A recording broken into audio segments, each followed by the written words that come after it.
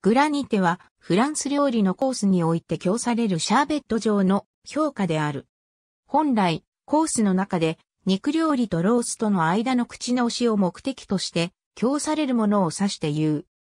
コースの最後にデザートとして供されるものを指して言うこともある。意味はフランス語でザラザラした。その名の通り、ソルベと比べて氷の粒が粗く、シャリシャリとした食感が特徴である。口直し目的のグラニテはデザートとして供されるソルベよりも糖度が低い。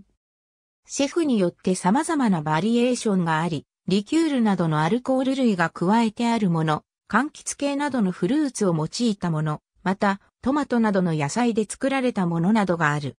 例としては、グレープフルーツのグラニテ、キウイとキュウリのグラニテなどを挙げることができる。ブリオッシュを添えたシチリアのグラニータグラニテはシチリア発祥の評価、グラニータを元にしている。また、ローマ地方ではグラニータをグラッタ結果と呼ぶ。グラニータはシロップやジュースを混ぜ加えて冷凍させるのに対して、グラッタ結果は氷の塊を削り、味を加えたものであり、日本のかき氷に似ている。シチリアでは昔からレモン、マンダリンオレンジ、ジャスミン、コーヒー、アーモンド、ミント、イチゴ、クワの実などのグラニータの人気が高い。